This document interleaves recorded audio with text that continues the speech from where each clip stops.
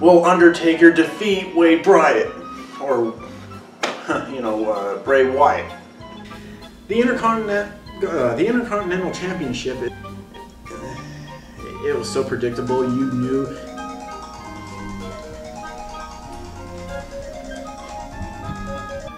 Seth Rollins put Randy Orton, you know, through a table, and then he. WrestleMania 31, the grand stage of them all. If this was for a wrestling fan. Dean Ambrose. Seth Rollins. Fuck. Hey, Daniel Bryan, don't worry. We're not gonna keep. Son of a bitch. I hate this shit now.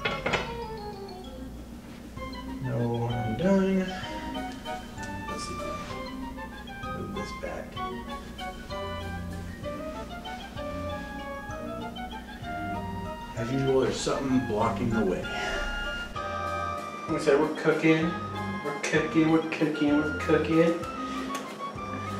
Yeah, and then you hold it like this. Get bags under my eyes, man. Get fucking bags. Of course, and then I just all I do is I whoop. And then I whoop. Gotta make it sound cool. I hate life. of course, you know it has green laser. This, unfortunately, does not. I want to be popular! Because I have a limited budget, as you can clearly see.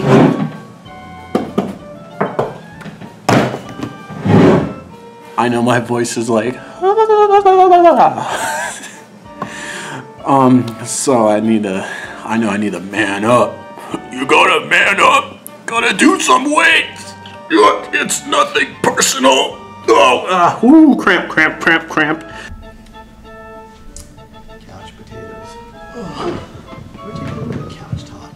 Just, it's like a sports. It sounds like a sports thing. Like I said, I came up with a fucking thing later.